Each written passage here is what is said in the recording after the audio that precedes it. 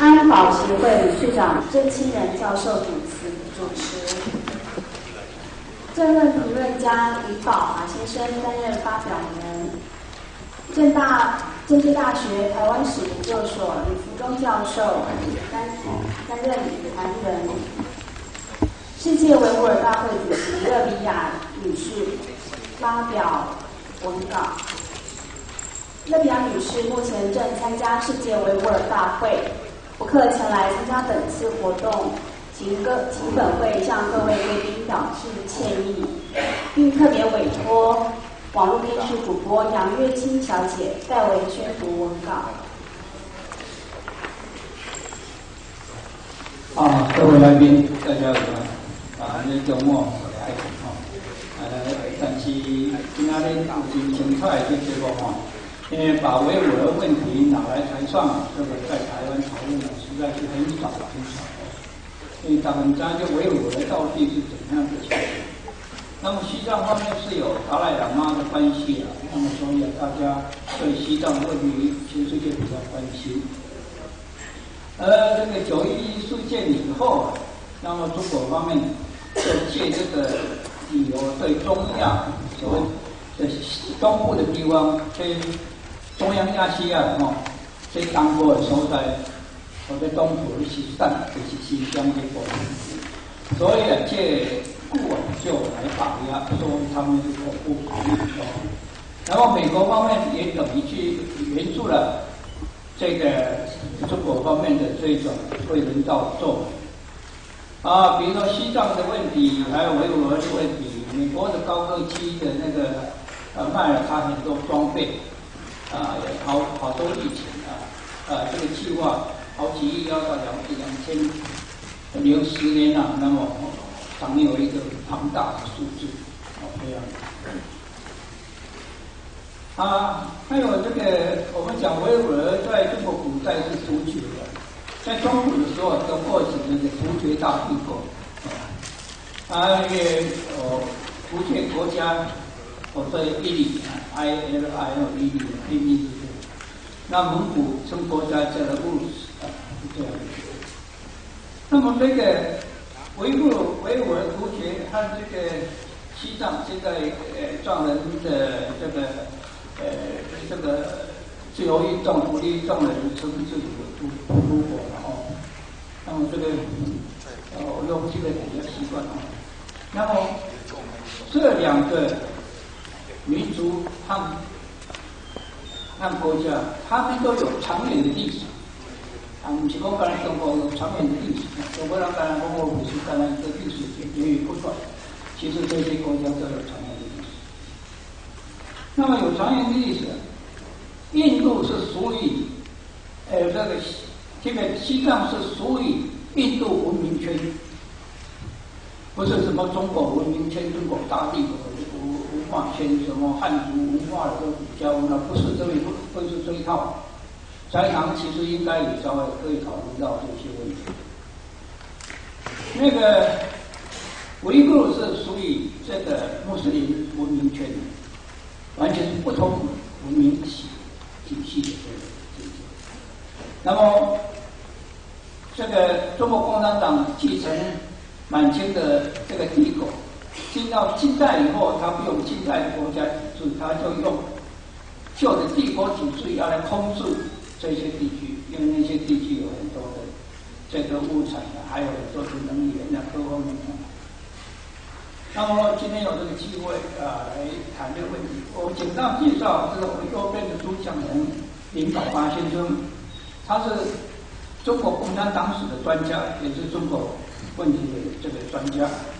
他经历很多台湾民主基金会国国际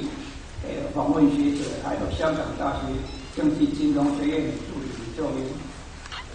还有香港很多报纸，甚至这个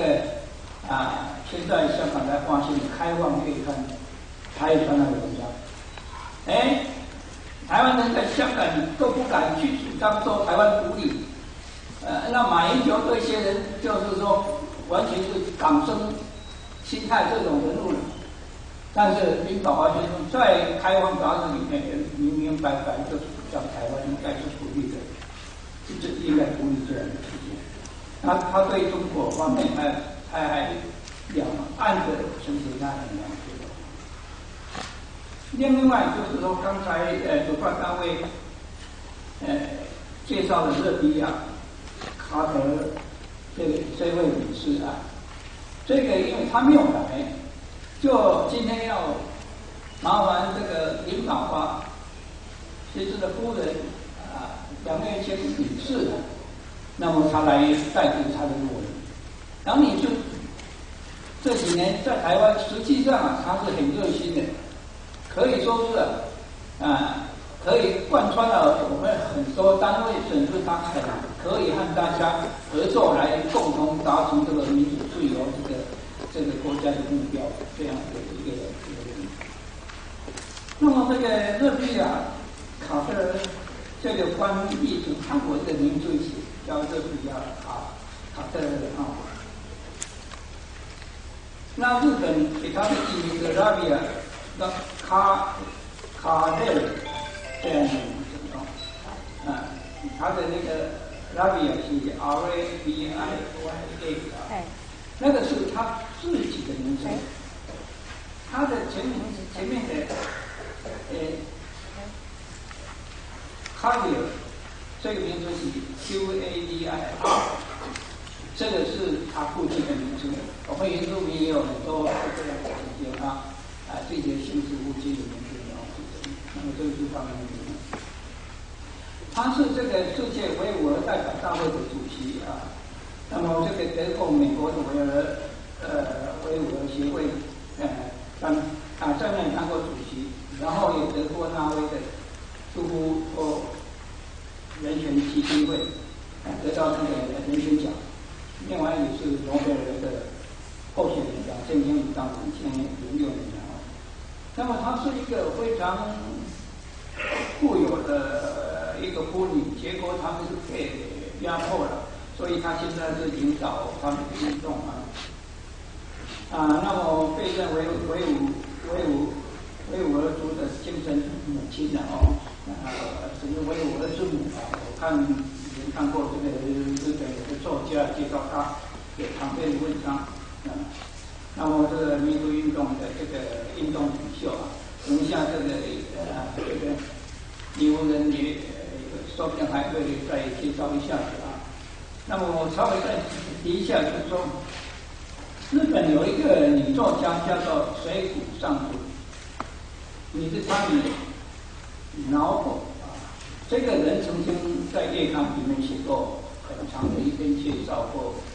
他的。这个女士的必要的情形啊，然后另外他也出来一个专书啊，就可我我来打维吾被中国赶出的维吾人啊，这个一个亡命者来谈他的这个政治被压迫的情形。那么这是文艺呃文春新书啊出版的，那么这个情形。唯有台湾很奇奇怪，就是说对维吾尔会这个的问题啊，好像一般太不了解而太关心。我们应该啊稍微有这种这个支援这样运动的一个精神啊。还有呃，今天的女谈人还有一位就是呃李福忠先生是我的这个左边，他是台大硕士班的时候，他就就中共的问题。我记得是有就是写到一九七八得了这些后来他说那个啊，是非常优秀的。当时我他要考博士班，我看到他说哦，他很多预测后来啊，推测后来做，那后来他得到博士学位。那么他在呃《联合报》，还有很多《中央日报》以前做过这一方面的这种这这个这种这个主任副主任呢，那么做过中国。问题的研究，他现在是现在是正大的台湾水研究所的担任助理教授啊，啊，所以他对中国是中国现在问题里面有研究这样的情形。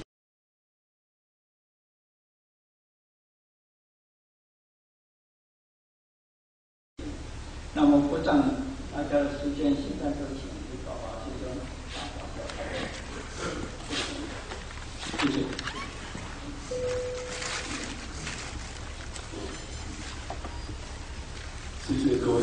嘉宾今天来来参加这个会，谢谢。我今天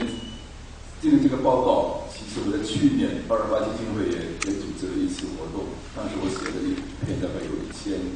有一万六千六七千字的一个文章，就是一九四九年后中国对新疆的统治。我这个文章现在已经已经二十八基金会出了书了。我也我也已经把我这篇文章上了网了。我那个部落格嘛，在每个星期三的《自由时报》。我的专栏的后面有，所以大家可以可以上去看。应应该是对新疆我自己做最全最全面的介绍和描述。而今天来讲的呢，我就想讲，就是从去年到今年大概一年来的情况，在新疆有什么变化，有什么变化。我也很高兴今天地坛这个李福忠。他是我在《中央日报》写专栏的时候，他是当时是评论版的编辑。他当时在《中央日报》到中国采访的时候，他亲自到过新疆，而且被共产党被共产党逮捕过，就在新疆采访的时候被揍了。所以他这个对新疆的这个感受应该比我更深啊！我自己因为我自己新疆从来都没有去过啊。那么今天我讲讲一下这个新疆这一年的情况。我想最主要的，大家都应该印象比较深的，就是去年奥运会期间呢，新疆发生的一些暴力抗争事件。当然，共产党也借这个机会嘛，就对新疆大肆镇压。其实，在这个暴力抗争事件以前。中国政府已经放了很多消息，啊，据说是这个新疆新疆人一些维吾尔人准备整弹一起炸奥运，啊，什么组织人肉炸弹，已经制造了很多舆论。那这种舆论实际上很多都是都是假造的。后来发生的几宗暴力抗争事件，其实也只是在新疆的一些地区发生。史上也很少，根本就不像共产党所宣扬的，什么人肉炸弹要到炸到北京来了，根本没有这么回事。但是他为什么要造这种舆论呢？他有几个目的。第一个，造这个舆论，就让西方世界知道这个维吾尔族人怎么怎么坏，怎么搞恐怖活动，那么就会认同他们的真相。第二个，如果以后果然发生了一些暴力事件，那这些人就可以讲，你看我讲的没有错吧？啊，即使是自己做做的做法是错误，他也他也不认为是错，他认为这个你看我早就讲了，他们要做这种事情。同时呢，他们这样的宣传的目的，也是为了什么呢？为了向上面多拿经费。你看人家敌人这样子活动啊，你中央政府赶快给我们多一些经费。因为这样的经费，就大家等一下面就可以瓜分，所以这样做的目的是好几好几种目的。所以呢，在去年奥运会以前呢，新疆也发生了几种事件，后来根本就是，当时渲染的非常厉害，但是根本就后来也没有什么结果。比如说，有一架飞机说是从新疆飞到飞到北飞到北京，结果嘛，在飞到兰州上空的时候，就抓到一个新疆人，好像要要搞爆炸。说到那个十八岁的女孩，说神似诡异，啊，什么到洗手间里面，什么洗手间里面有什么气味味道，后来把他抓起来，把飞机上其他几个新疆人先抓起来，但是这种事情最后没有结果，到底怎么回事，他也不交代。如果真的是要绝机，要搞人肉炸弹，那你最后应该有个交代嘛？法院有个审判，他完全没有。这个去年三月，然后四月份就说有一个。有一个人从新疆州坐火车，发现身上绑有雷管，哇！你说这个是恐怖分子，一定要怎样怎样？结果在第二天再看的时候，这个人姓陈，那就他是汉人嘛，根本就不是新疆人，跟恐怖活动有什么关系？后来一介说，这个人在火车上还带了一个小孩子，呃，我搞恐怖活动的时候把小孩子一起一起扎死嘛。所以像这些这些东西啊，到后来也都没有结果。但是这个媒体就大肆炒作，就是把新疆人要描写成一种青年獠牙啊，那样子一个啊，那样子一个恐怖的那个形象。他们做这些目的，然后呢，就是说那个奥运所谓奥运火把在新疆搞了四个城市去，去显示这个新疆是它的主权是中国。我在在在在在火把巡视的时候，当然把新疆人都不准出来，不准出来欢迎，除了一些中共所相信的所谓一些公务员以外，就完全是用歧视的态度。在火把来以前，还是枪毙一批新疆人，判刑比如那个喀什喀什地区是比较典型的新疆城市，我在里面有一下宣判五十七个人。有的枪毙，有的判处徒刑，所以后来没有几天，科学发生了一个发生了一个稀奇无奇的事件，就是完全是因为共产党这种镇压、这种滥杀无辜，才引发他们的反抗。我觉得是完全可以。难道别人在我们脖子上已经已经向我们砍了我们这种反抗的理由吗？他们在宣传方面也比较可笑的啊，比如说是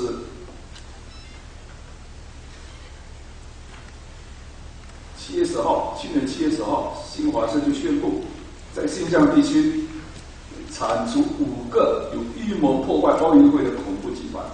来发出了明显判。这是七月十号，但是七月中旬呢，香港大公报又发表了一个对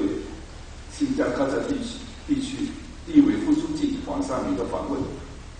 因为黄尚明说，光是特色地区，今年也就去年七月以前，就已经摧毁了十二个恐怖集团。就大家想想，新疆自治区，他们所宣布的是五个恐怖集团，整个新疆啊。那里面那个地区喀什就有十二个，有有什么可能一个地区这个恐怖集团数字会比整个新疆地区的更多？就说明他们根本这种这种造谣啊，这种这种这种捏造的事情太多了，太多了。所以我们可以想象，在这种捏造造谣的后面，有多少新疆人会被被无辜的这样子滥杀？到后来搞到什么东西也找不到理由，比如说在乌鲁木齐市打死了五个新疆人，说是因为他们要搞要搞暴乱，但是武警只伤了一个，为什么呢？说搞暴乱那五个人根本就没有枪，只是有一把小刀。我们知道新疆人很多在腰带上都绑起来小刀，所以就因为这个小刀说他们搞，一下就上来就打死五个。就是完全这种，这种非常野蛮的手段来对付新疆。这个问题等会热比亚这个文章里面都有，我这里面就不想啊，就不想不想再多谈了。那么除了这点以外，我觉得这一年还有一个还有一个重要的，在新疆发生重要的事情呢，就是最近一个日本学者。在四月底发表一篇文章，就一个札幌大学，他就讲到，讲到核核实验的问题。我们知道这个核实验，我们知道中国中国在那个新疆地区的罗布泊，呃，是一个共产党的重要。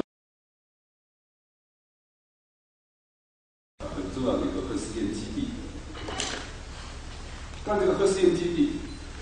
到底造成了多少公害？中国政府到现在是完全是保密的。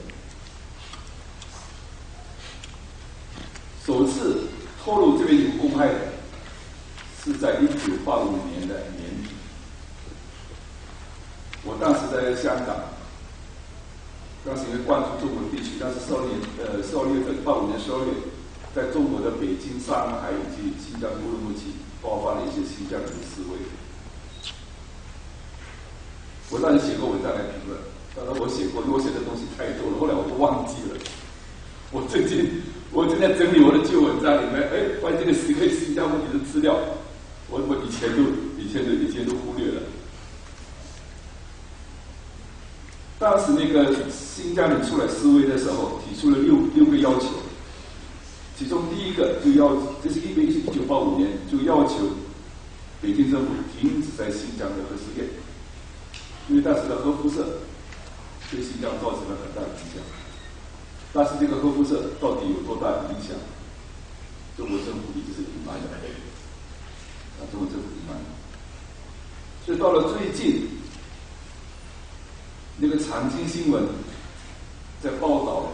一个高田准的教授，他是在二零零二年八月开始对中国的核试验在新疆的影响做研究。为什么是日本？我想，因为日本自己除了受到核受到核辐射最大的影响以外，因为我是大概去年我也才发现，就说现在新疆人呢。在哪一个国家最多的？我们当然知道新疆很多一些分离主义的组织在德国比较多，德国是第一类。现在当然在在美国也也比较多，但是新疆的留学生啊，最多的是在日本。啊，这个我觉得非常奇怪的事情。所以我想到这个研究啊，可能跟跟那些一些新疆也有很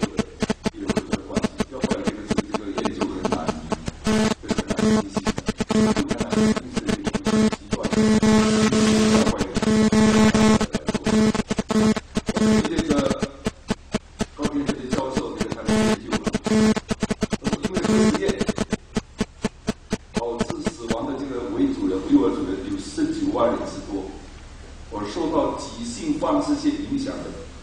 也就是说受污染的就是一百二十几万人。不但如此我们知道中国一个丝绸之路啊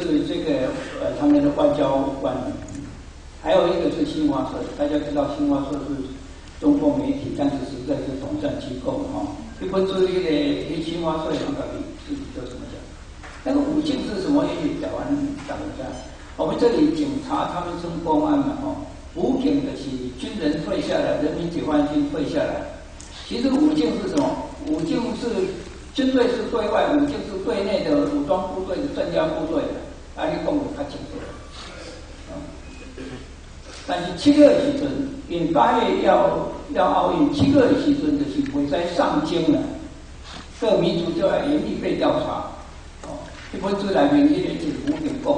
不如就是说七月不能上京，还要严厉被调查。那一份上访，上访就是讲一千万的，讲那个上访访问访访访上访的，一定要要被被禁。啊，所以呃。你现在很清楚，就是说找借口来跟你镇压啊，而我们又是现在我们那个清的话，就用爱来处理掉啊。这个是今麦中国人的经验。啊，所以啊，我请语坛人呃呃，一路中来讲哦，来讲这个一路中来讲这一点。呃，主持人还有呃，宝华兄。还有各位呃来宾，大家好。呃，我我事实上被邀请来呃来参加这一次的这个新疆的这一这个座谈，我其实是有点心虚的，因为我自己并不研究新疆问题。那我想我会被邀请的原因有两个了，一个是刚刚宝华兄已经帮我谢底了，我去过我去去过新疆采访，而且发生了一些事情。那么，其实去采访的去采访新疆，并不代表我可以谈新疆问题，那么，另外，我想另外一个另外一点就是说，我为什么会被邀请来？因为我是学历史的，啊，所以我今天本来准备了一个大概的讲稿，是谈这个近代新疆历史上的两次独立运动。我讲各位来宾在手势上都看得到。那么，我我主要还是从历史上来谈谈这个。在二十世纪一九三三年跟一九四四年各发生过一次的新疆独立运动。那但是呢，我本来的想法，今天我想说这十五分钟我应该怎么讲？我本来是想说，我先来谈这个我所了解，我所了解。但我这里说我所了解，是因为我毕竟人在台湾，而且我并没有长期在呃在了在理在研究新疆的问题。所以我说，我所了解的这个新疆的独立运动，完全是根据我在台湾看到的、看到的台湾这边的材料、呃媒体的报道，还有呃这个中国历史书上啊，主要是中文中文的历史书里头的的一些材料，根据这个东西来做一些综合整理。我本来的想法是说，我先来谈一谈，就是我讲稿里头谈到的一些问题，我所我所理解的新疆维吾尔人的民族自决运动。然后，再来，我想如果时间还有有还还有还剩下一点时间，我再来报跟各位报告一下我在新疆碰到的事情。那既既然这个宝华兄都已经帮我先做了那么一点宣传了，我想我倒过来吧，我先讲故事好了。故事故事有点精彩啊，就是我一九九八年去新疆采访，那那是我唯一一次唯一去唯一一次去去到新疆的。然后呃。因为作为一个记者，我当时是中央日报的这个综合新闻中心的副主任。那么作为一个新闻记者，好新闻是是天经地义的事情。而且，呃，既然要好新闻，我那次去新疆是因为新疆自治区区政府邀请我们去采访新疆的这个经济发展、经贸活动。当然，我我我一个台湾记者跑去新疆，跑去乌鲁木齐，然后去报道他们那边的经济发展多好多好。作为作为一个记者的本直觉哈，我的本能来讲，我觉得这是有点呃没有什么新闻性的东西了。老实讲，你要采访中国的经济发展，你该去上海啊，去广州啊。或者去最至少去北京啊，这种总跑到新疆去采访他们的经济发展。所以这个作为一个那个有一点那个有一点皮哈，有一点那个有一点呃不太呃有一点调皮捣蛋的一个记者，我就想去了解一下新疆的独立运动、疆独的运动，因为疆独在台湾是很神秘的，在在我想在全世界很多很多地方，疆独这个东西，包括在中国，疆独这个议题都是很神秘的议题。所以结果进来那当然我就开始就是脱队嘛，脱队，因为你知道那个。台湾台湾的记者到中国去采访时尚哥，尤其是某个某个活有主题啊，有主题有活动的的这种采访，都是要跟跟团的嘛，团进团出的，没有那个不能不能单独活动。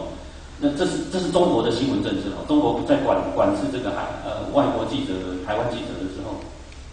都会使用这种手法。那我我当然就开始脱队活动，脱队活动，然后去跑去维吾尔人的清真寺啊。好，去乌鲁木齐的去，就是。去街头，然后看有没有什么机会可以打听到一些问，跟跟跟跟路人聊天。我想我的想法有点天真啊。然后，但后来我终于不小心被我听到一些一些呃，九八年，我那我去采访的时候是九八年的八月三十号，听到一些呃跟江湖有关系的一些一些消息，所以我就当天呢，我就把它写在写在稿纸上。我没有带那那次去新疆，我没有带电脑，否则我可以用那个 email 或者 modem 传回来。但是我当时就因为电脑有点重，我就偷懒，偷懒，所以就我就只带了一支笔而已。那么我就把它写下来，写下来之后呢，我就找一家旅馆，旅馆里头有那个 business center，就是商务中心，我就用商务中心的传真机传回台北来，把稿子传回台北，结果。这个传完传真完之后呢，我就准备离开那家旅馆。我走到旅馆的门口，马上被旅馆的安全人员把我叫回来，哎，说先生你不要走，你刚传真的东西有问题。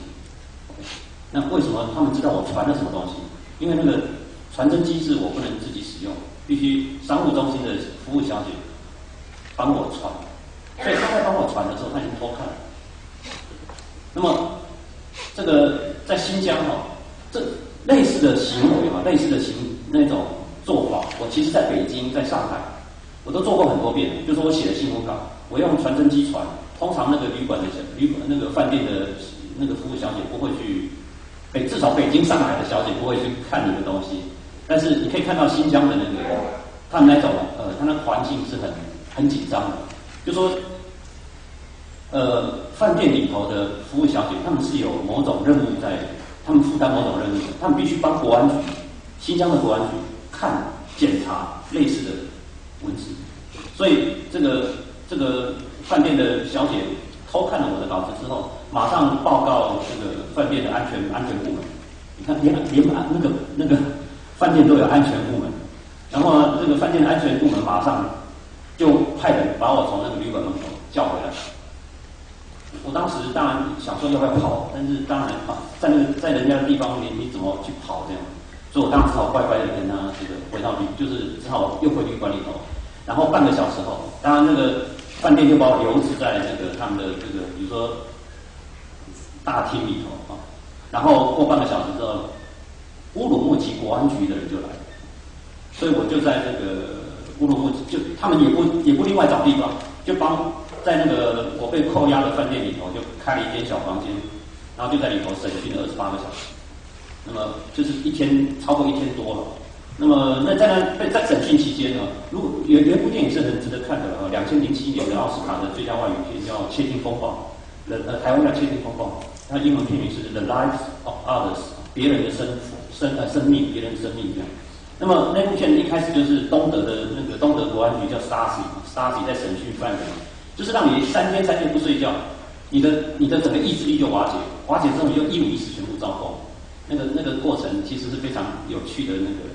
有趣的所谓的白色恐怖的那个审讯过程。我自己一辈子从来没有经历过，在台湾没有做国民党的牢，就没有想到去到这个新疆去做共产党的牢。然后这个审讯了二十八个小时，那个疲了一个疲劳审讯嘛，他就是两大概两三个小时就就把你叫起来一次，然后。呃，审讯的那个方式是叫你一直写，叫我一直交代，交代说你呃，来这边几天，每天你的你看你接触过哪些人，你做了什么行为，你做了什么活动，一五一十全部写，写完一遍，当然了，我当然不能告诉这个新疆那个乌鲁木齐国安局的人说我我接触了谁，我的消息哪里来的。作为一个新闻记者，消息来源是保密的。那么事实上，这个这个这个训练，这个自觉是很重要的。为因为，我我我想。我我因为我想各位也也呃可能还没有还不了解国安局为什么抓我，新加坡安局为什么抓我？他事实上不是要抓我这个人，他是要我招出来，谁告诉我这个消息？我是一个台湾记者，那么基本上他们处理台湾记者，顶多把你关几抓几天，关几天，最后把你这个驱逐出境。但是如果我把消息来源报出来，哇，那他们那个。可以抓一些人，他们可能可以破获一些一些团体，后果事实上是非常严重。我后来我后来慢慢我才在那个审讯过程中，我才了解，原来他们要的是我的消息来源，而不是我这个人。但是问题就是，我当时也自己也说出来，那是一种恐惧了哈，就说你不知道你会被关多久。我开始想到我的博士，我当时在念博士班，所以我开始想到我的博士马上要那个要开学。然后我的房屋贷款，然后想到一些这这种呃跟生活很有关系的事情，就是我的人生未来会怎么样？所以事实上这是一个考验，就是说你到底要不要造后，你到底要不要把那个呃去陷害别人来那个拯救自己？这是一个天人交战。不过还好，它只有二十八个小时。我想久一点，久一点我可能就就我我我我想我不投降，就我必须承认。那么那为为什么我会我会后我后来被被释放？因为我必须感谢那个台北的新闻界，因为台北新闻界很快的就知道新疆有个台湾记者失踪。那这个为什么台湾台湾的新新闻界会很很快就知道呢？因为跟我一起去新疆的有一个联合报记者，他觉得我消失了一整天是不不寻常的事情，所以赶快告诉台北说，呃，有个台湾的中中央日报记者在新疆失踪，所以呃那个 TVBS 就是电视台的跑马跑马之路开始跑出来。那台台北的台北的那个新闻的跑马之路开始跑出来，北京国台办就看到。北京国台办看到，你怎么会有个台湾记者在新疆失踪，而北京不知道？所以北京国台办马上打电话去告诉，去问那个新疆台办，到底那个这件事是怎么回事嘛？辜政府当时已经快要到上海去会见汪老海，辜汪二十就是辜汪会晤，一九九八年辜汪十十月他们会晤，所以当时的国台办不需要把事情闹得。太太僵，因为当时两岸的关系正在和经过九五九六年台海危机正在和缓当中，所以所以这个国台办要新疆赶快解决这件事情，所以新疆国台办就啊对不起新疆台办就透过新疆台办的的的压力，那么最后新疆国安局新疆国安局就决定二十八已经拖了二十八个小时，他们离北京的压力越来越大，所以这个。新新疆国安局就放人，所以还我一直觉得庆幸，说还好我还没有招供，他们就把我放了。那么，那么我要我我要谈的不是我个人的事情啊，我觉得有些事情太太太私人了，所以实在没有必要公开讲。但是我只想透过这个故事，让你们让各位来宾知道，说在新疆这种涉及到这种这种事情，疆土这种事情，它的它的严重性到什么程度？就是那个国安局马上介入，而且马上知道说这个消息哪里来的，是谁告诉你？那么，整个事实上，那个新疆国安局在控制新疆，在这方面是非常紧张的。所以后来，我我一些比较了解情况的朋友都都都跟我讲说，你真的是命大，就是去新疆还敢去采访这种东西，你还敢去写稿子，你还敢用那个传真机传啊，你显然不要命了这样。那个比较了解情况的朋友都跟我讲，因为在北京这个可能没有问题。在上海的没有问题，但新疆那个那个这这种这种东西是会杀头的哦。所以，我我话讲回来，因为我时间不多了，花了太多时间讲故事啊，讲故事比较好玩。那么，我的文章里头其实也谈，也也谈到了，事实上那个新疆的民族民族成分是非常复杂的，还有这个有哈萨克人，因为除了维吾尔人之外，还有哈萨克人、有吉尔吉斯人、有乌兹别克人、有塔吉克人、蒙古人、俄罗斯人、满人，还有东干回。东干回事实上是汉人，但是他们因为信回教，所以维吾尔人事实上是非常不喜欢东干回的。东干回人或者叫汉回，那么还有汉人等等。其实新疆的民族构成非常复杂。那么老实说了，在历史上，这个历史可以推到十九世纪的阿古国。阿古国的事情，我有在文章里头有谈到。阿古国那个是十九整个十九世纪新疆最最惨最惨烈的一次民族仇杀。因为阿古国阿古国事实上不是维吾尔人，他是乌兹别克人，以前的浩浩瀚浩瀚国的这个大将军。他在呃是呃一这个一八六零年代在新疆建立了一个呃英文叫做那个 Kashgar，Kashgar，Kash，Kash，Kash 就是克克什，新疆新南疆的一个大大城市。那么这个国家一在西方的文献里头都叫 Kashgaria。那么这个阿古国这个建建这个建 Kashgaria 的建国运动后来，他事实上屠杀了一大堆的维吾尔人，很多啊，包括汉人、维吾尔人。都都被这个阿古国屠杀掉，所以事实上，新疆的维吾尔人事实上在历史过程里头，那个整个历史过程里头，事实上是很他们有很强烈的那一种，呃，战争的恐惧感，民族冲突的恐惧感。那么这种恐惧感使得新疆，老实讲，维吾尔人必须必须寻找一个更强大的力量，来维持整个新疆的秩序啊，所以。这是我个人，我的个人对这个世上宝华兄在他的文章的最前面也谈到，将这个土东东土运动啊，东土耳其斯坦的独立运动，事实上在整个全世界来讲，它的影响力是远不如江，远不如那个藏族的啊。因为西藏是一个西藏是一个很明显的由西藏人组成的一个组成的一个一个社会，那个民族构成比较单纯。但是在我在新疆，那民族构成太复杂，而且在历史上这种民族之间的仇杀非常的严重，那个记忆犹新。所以，其实对新疆的维吾尔人来讲，他们寻求独立的决心，事实上并没有。我我的理解啊，如果我有错误，请各位指正。新疆人对于追求自己独立、民主自觉的那种决心，事实上没有那么强。为什么没有那么强的一个原因，是因为如果说新疆的各民族要自己独立出来，或者做一个民族自觉的话，你对维吾尔人来讲，他可能必须遭受另外一次的、再一次的这种。种族的种族的这种分裂跟种族的互相的仇杀，那么在中共的统治底下，中共虽然在对新疆的人权状况，呃，就说新疆统中共统治新疆的那种人权政策，事实上是非常糟的，它人权记录是非常糟的。但是至少中共的强力的镇压，维持了新疆某种程度的秩序感。那么这种秩序感，事实上保障了这种新疆的各种各种族各种族各种族不会造成再一次的这种种族。种族仇杀，所以这是我个人的分析，就是呃，新疆本身它的这种种族的复杂性，还有种族的屠杀的这种历史，使得新疆的维吾尔人事实上并没有那么强烈的，并没有那么强烈的追求独立的这种这种企图心啊。至少在历史的过程上，历史我这里有写了，一九三三年到一九四四年有两次的这个新疆的独立运动，但是那两次后来都。都呃一下很快就解体了，那原因也在于说，事实上发呃追求就是就说发起这个运动的，号召这个运动的主事者，事实上也没有那么强大的力量在后面支撑，包括新疆本本身的这种民意基础，这个是我我想，这可能呃说好像这事实上这个议题应该说实在，我觉得应该由热比亚来谈会比较好，因为他本身是维吾维吾尔族的人，他还谈他们族的。这种民族自觉也许会更合适一点。那么叫我一个呃属于汉族的人来谈他们的独立运动，其实是有点有点可能有点偏差。那么我我只我只是从我只能从整个历史的脉络里头来谈我认识的这种新疆独立运动。那么我想我在最后再讲一个插曲吧，就是这个呃我后来被放出来释放之后，那么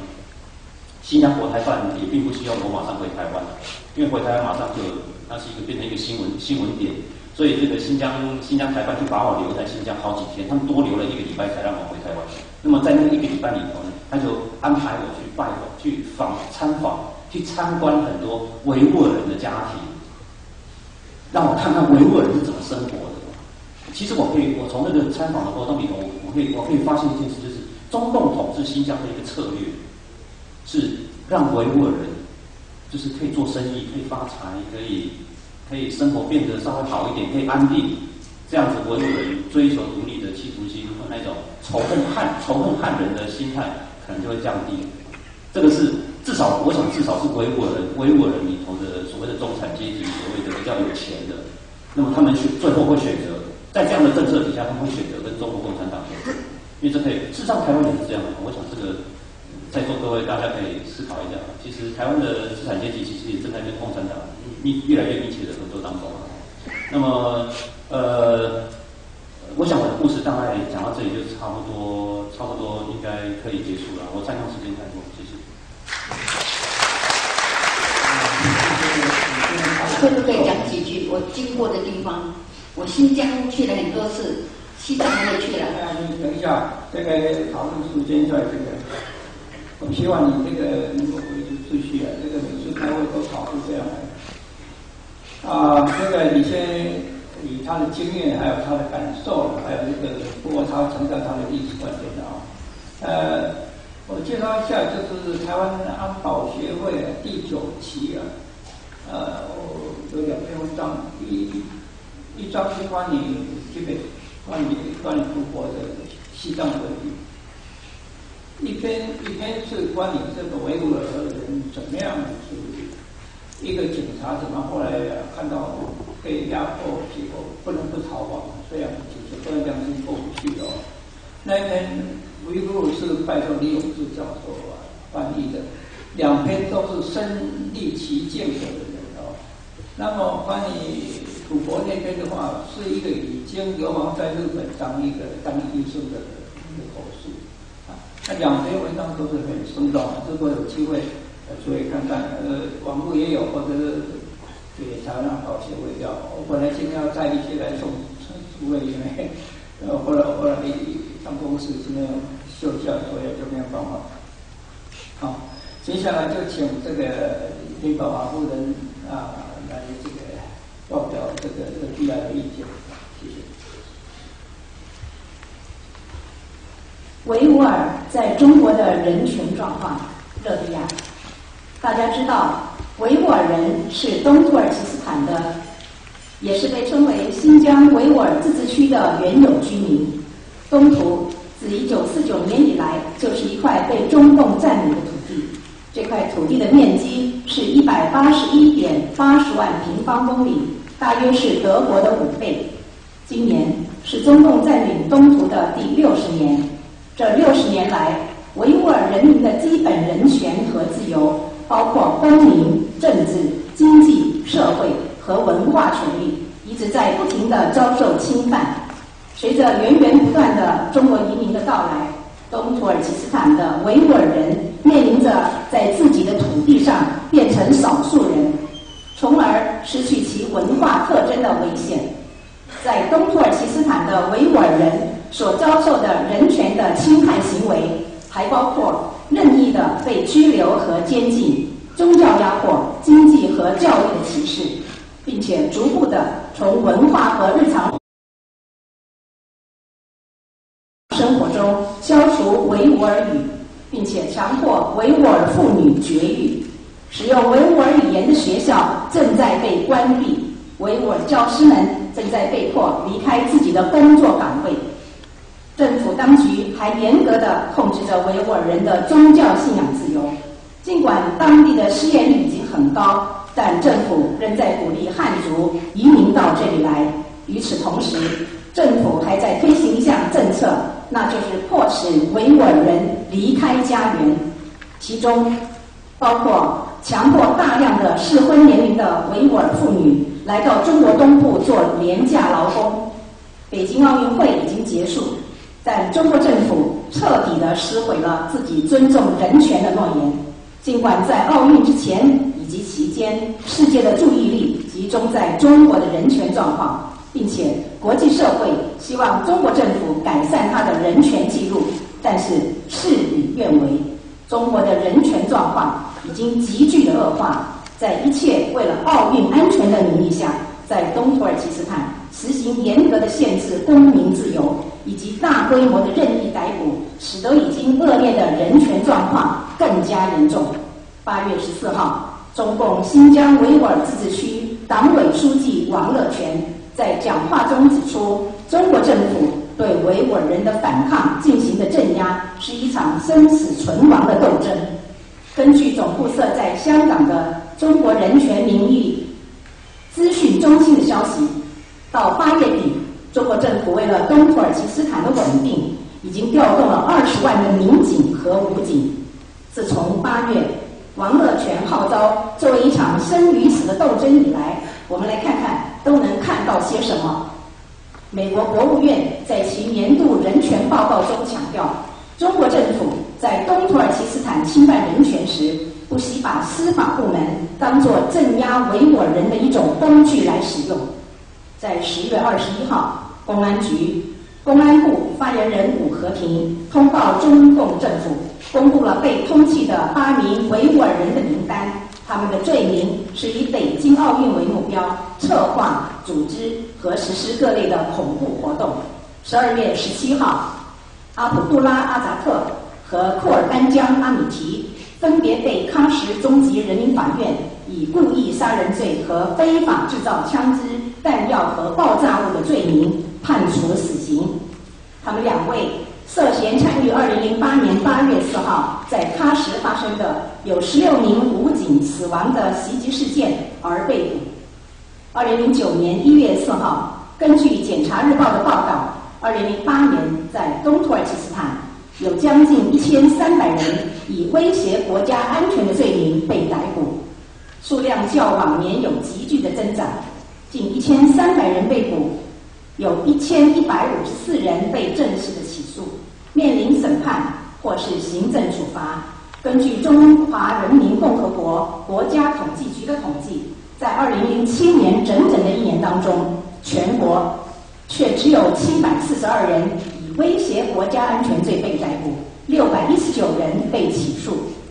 去年二零零八年的一月十八号，新疆最高法院的院长肉孜司马懿宣布。在过去的五年当中，中共的安全部队共处理了一千多件反政府的案件，并逮捕了一万五千多名的维吾尔人。在这里，我们给您讲述一些自从二零零八年年初到奥运期间的事实。这些消息都是由中共政府公布的。二零零八年的一月十七号，中国武警部队在帕米尔山脉打死五名，收获十八名的维吾尔人。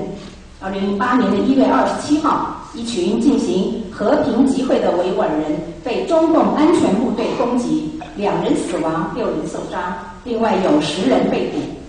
在维吾尔妇女于二零零八年三月二十三到二十四号进行了一场示威游行之后，中国警方逮捕了约七百名的示威者。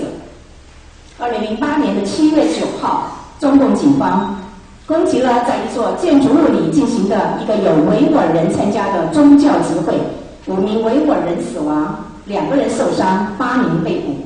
中共当局的喀什人民法院公开宣布五名维吾尔人死刑，其中包括阿卜杜外利伊敏先生和莫赫塔尔塞金瓦里奇先生。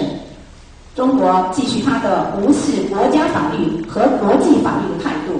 并在东土耳其斯坦。力求使用更严厉的手段来镇压东土耳其斯坦人民，在无情的打压运动中，中共的安全部队把维吾尔人推到了绝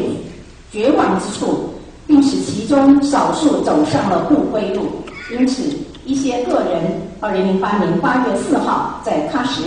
二零零八年的十月八月十号在库车，对中共的军事和政府目标进行了攻击。这些袭击事件之后，中共当局在这些城市进行了事实上的戒严，并开始大量的拘留和逮捕维吾尔人。中共政府在这种无理行径，无疑建立了一个恶性循环，进一步的加深了本来就很紧张的维吾尔人和政府之间的关系。奥运会结束之后，中共当局开始进行挨家挨户的搜查。公安部副部长。在库车成立了一个特别工作小组，领导库车和喀什的清扫行动。一千多人被捕，更多的人被临时关押在各村的当地政府大楼里。下面要谈的是维吾尔人更遭受进一步限制言论自由。十二月二十号，在新疆大学，警方拘捕了二十岁的米拉蒂提雅欣。和十九岁的穆塔里普·塔伊普声称与有关组织的和平抗议有牵连。这两位大学生是在地区首府乌鲁木齐，因为新疆大学校园散发敦促学生参加和平示威游行的传单而被捕。这两位大学生被捕的地区首府乌鲁木齐，因为散发传单的新疆大学校园敦促学生参加了和平示威，他们两位被捕之后，被转移到乌鲁木齐的公安局做进一步的调查和审讯。十二月二十四号，新疆大学在一次特别仪式上，表扬逮捕米拉蒂、米拉蒂里亚辛和乌塔里普塔里普。并向远景伊利阿尔、阿布利米提、尼亚子姆和马提、伊玛目和王斌各五千元的人民币，以此强调官方对防止各种类型的和平示威活动的重视。各重点大学的领导以及乌鲁木齐市的领导、省级政府官员出席了仪式。新疆大学党委书记表示，新疆维吾尔自治区的党委书记王乐全对于大学在防止潜在的抗议活动所做出的非凡努力表示高兴。中共政府在东土耳其斯坦给各种形式的反对意见，通通打上恐怖主义的标签，所以维吾尔根本没有正当的途径，以和平方式来表达他们的不满。出于这个原因，维吾尔人的权利遭受到任意的侵犯，他们不断的遭受不公正的待遇，甚至未经司法审核的遭受极刑。他们已经没有任何的官方管道来安抚他们的不满。我们世界维吾尔代表大会对进一步升温的目前的局势感到担心。我们坚持使用和平的手段，尊重国际法。在公认的国际框架内，来为维吾尔人争取自决权。然而，由于缺乏国际社会对中国政府鼓励用国家恐怖形式来对待整个维吾尔人、维吾尔人的做法施加的压力，中共正在持续使用暴力镇压维吾尔人。维吾尔人正处在绝望之中。考虑到中共当局的大规模镇压，特别是无辜的人民受激烈的镇压。如果这种情况继续下去，它可能会导致进一步的暴力，这将导致无辜生命的损失，并损害地区的和平和稳定。我们呼吁联合国人权理事会、国际社会、欧洲联盟以及所有自由世界中的民主国家采取行动，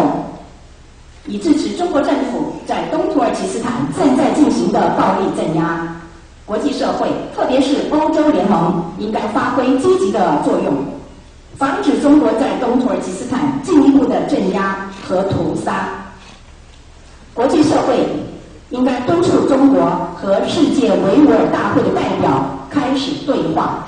以和平的方式解决目前的问题和东土耳其斯坦未来的地位。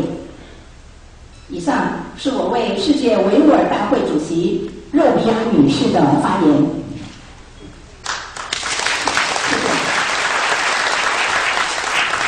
在去年，我的先生林宝华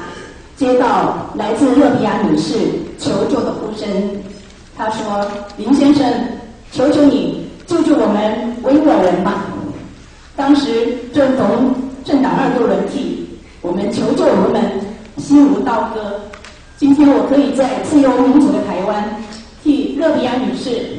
发出她求救的声音，我要郑重的向主办单位二二八纪念基金会表达我最诚挚的感谢。你们真的做了一件好事，但是我们在关心中国新疆、西藏的人权的同时，我们自己也担忧我们台湾的民主自由人权在过去的一年严重的倒退。所以我想，我要呼吁大家团结再团结，为了台湾的前途，我们大家一定要更加的努力。谢谢大家。啊，就像李宝啊先生夫人哦，他很清楚，他这个宣布的这内容语气也都讲得很明白哦。或可以从勒比亚文章里面可以了解一个，他们是希望和平解决的，国际上能够来支援啊，他们并不是说主张暴力的这样一个情形。啊，像勒比亚这种人，我们台湾人应该欢迎他来。另外方面，像达赖喇嘛，这个也是世界级的领袖啊，我们也应该是欢迎欢迎他来，这对我们也有好处。可是可惜，这个政府这个是带头带党的哦，去给他进的。林宝华先生的论文啊，有一点就是说啊，他很值得注意的，他用了很新的资料啊，新的资料，他用了这个呃日本的《政论月刊》五月一号出来，其实是六月份日本早一个月出来了，不过到台湾都没法除了你用航空器的，那台湾是准备才到啊才到啊。因为我也是经常留意到这些国际舆舆论啊怎么样。那么这个他讲到中国的核核武试爆，这个是非常残忍的。啊，他讲的高田纯呃教授啊，这个是札幌医科大学的教授啊。啊，他出来一本书叫《中国的核试核试验》，九峰的咖啡店啊，这个有一本书啊。这个也是前也是很幸运，就是说大概是有天助的啊。这个有有有一个企业界的人，人这个既然这个没有，我也我这个昨天一打开，哎，竟然是这个东西啊。那么那么这个他介绍这个书，那么这个争论的文章里面呢，这个高根成教授啊，他提到一点很重要，就是说呃，他的这个著作已经译成英文，还有维吾尔文了。呃，大家大概不习惯用“维吾尔”这个字，大概导演怎么样？因为以前东土耳其斯坦、东突厥的怎么样？这是一九二一年啊，在苏联境内的维吾尔人，这个他们自己开会决定说，我们应该用什么名称来称我们自己。所以一九二一年开始，他们称他们这些个维吾尔啊，维吾尔，就这样一个来源然后也做一个交代。那么。这个呃，这个高天存教授特别提到丝路，因为是在以前楼兰汉代的楼兰这个都是国家的旁边，罗布国湖泊那个地方来做这个核爆实验。那丝路是日本人最最向往的，因为丝路的终点他认为是到日本啊，所以因为这样，所以他特别要引起引。我的想法是要引起这个关注这个问题，这个非常重要。那么为什么啊他会做这个事情？跟哈萨克斯坦共和国有关系？因为这个哈萨克斯坦共和国啊，以前在苏联苏联统治下，苏联试爆的时候对他也有害。现在啊，中国在这个地方试爆，试爆以后对他也有害。所以他就非常的麻烦了，这个说紧张的要命啊，那对他们生命都很、财产都很大的危险。所以啊，就是这个也请这个高先生教授这个协助。那么这个教授很伟大的地方是什么？他发明了一种测试方法，要怎么测？地表上的爆炸和空中的爆炸，这个迫害的程度范围如何去测试这个问题？而如何估计，还有人口数字的计算，这些方法他发明出来，所以国际上他不只是说只有发表这个，国际上已经很留意他的论述。哎，我想这个我们这个安保协会的一个理事，呃，监事他监事长他提这个给我的，哎，就是讲啊，是不是我们应该也留意这个问题啊？那这个问题很严严重的问题，就是说，呃。像呃李宝华先生他刚才讲，中共从一九六四到一九九六年，它的爆炸就已经有四十六次了。那么总 energy 的发出来的热量有二二十兆桶，一个兆桶是相当于一百万吨的 TNT 炸药，所以发出的热量的杀伤力是多多大？这个。我因为时间关系，我也不会会预备这个呃详细说。他比如说，他分了这个 A 区他说 A 区大概四点四万平方公里，大概要东京都的面积的十一倍，十一倍了哦。那么一下就死了十九万人，所以他怎么样呢？他整个这个村庄整个都没有了，整个都没有了。另外还有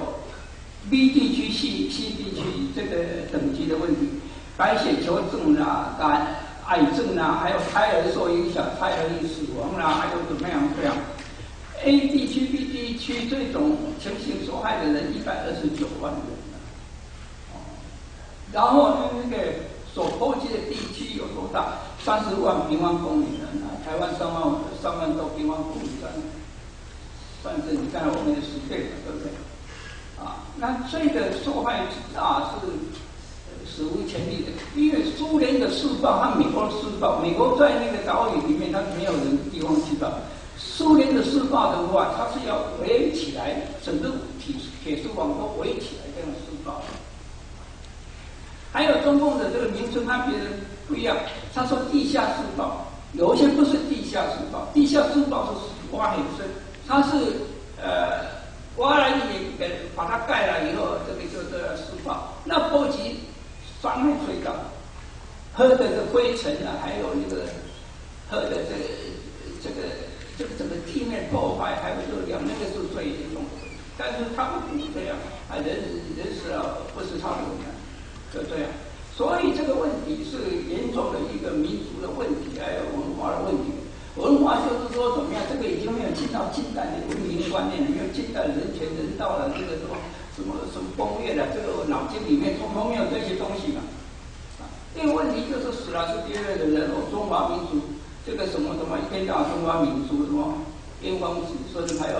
像这里一个温球，一个总统，一个行政院长，都是自称大学教授，竟然还在记那个神话的皇帝名，还在中华民族，这个是天大的笑话。我们历史学界还能够允许这样的情形，我不晓得因为历史学界死光了还是怎么样，都没有人出来反驳。不过中当内阁部长的时候，就写了一篇文章，我我就批了这个事情。这个是还要万世一系吗？从皇帝一一直到马英九吗？这笑死了！这些天下笑话，在天下笑话在台湾竟然如此之快。那我们这个社会是什么社会？近代社会吗？我想年轻朋友多研究一下啊，多多这个看看东西啊，因为我们期待的是年轻一代来来。来来接棒是吧？啊，这样的情形？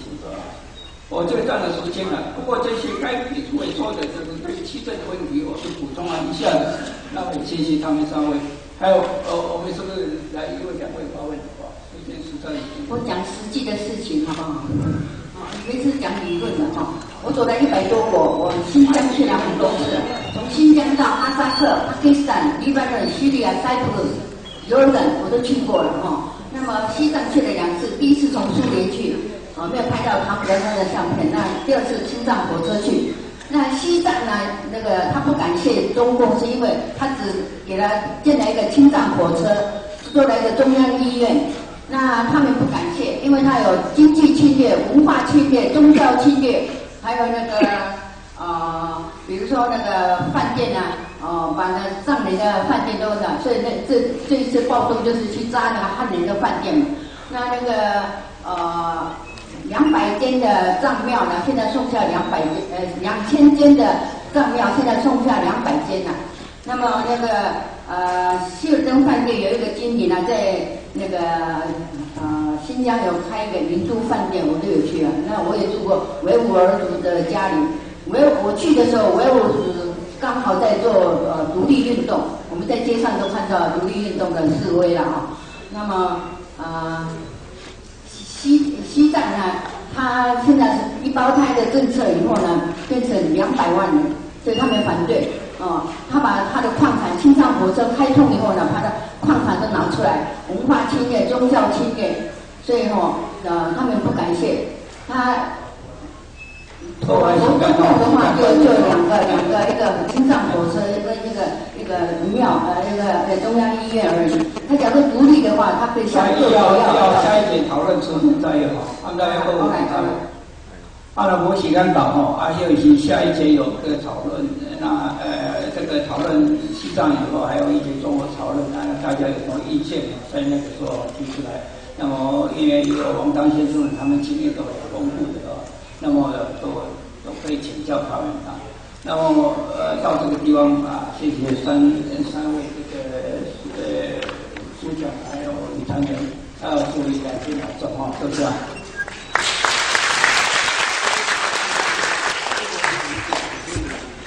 第三场讨论会。